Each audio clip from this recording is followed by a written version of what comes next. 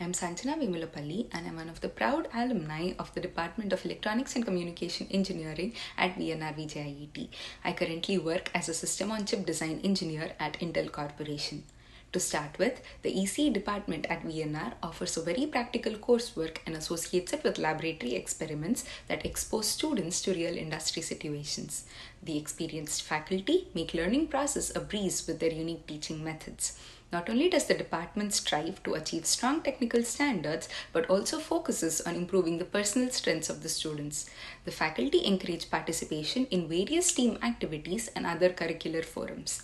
The department and the college leave no stone unturned in rewarding students in ways that turn into memories.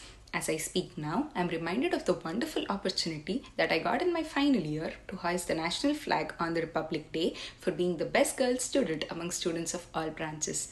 This surely is a memory that I would cherish forever. The ECE department also maintains a productive relationship with industry, which benefits the students by providing them with an exclusive access to leading companies. It also assists the alumni to kick off a successful career.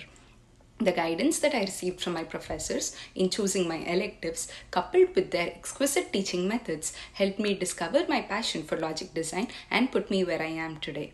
In a nutshell, I will always be indebted to the resources and faculty of the ECE department for helping me pave my career path, and I can proudly say with no hesitation that this department strives to achieve the best. Thank you.